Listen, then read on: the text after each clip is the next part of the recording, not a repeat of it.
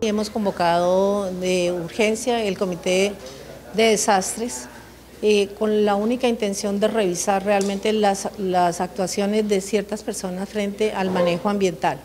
Nosotros sabemos que estamos en una época de verano, pero lo que queremos con este comité es tomar acciones para definir realmente qué hacer con aquellas personas que consideran que quemar es la, una opción cuando realmente lo único que se está haciendo es el deterioro completo del medio ambiente.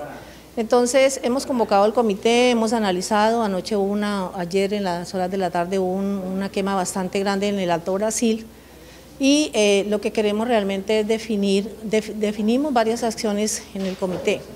Se va a hacer eh, unas visitas especiales del comité en pleno eh, en las horas de la tarde para verificar realmente el daño ambiental que se generó desde todo punto de vista, no solamente desde la quema de, los, de los árboles, sino el desplazamiento de la fauna, todo lo que tiene que, lo que conlleva eh, la contaminación ambiental.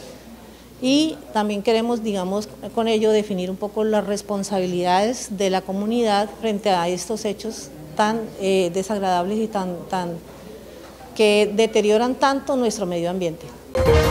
Florencia, biodiversidad para todos. Luis Antonio Ruiz Iseri, alcalde de Florencia, 2020-2023.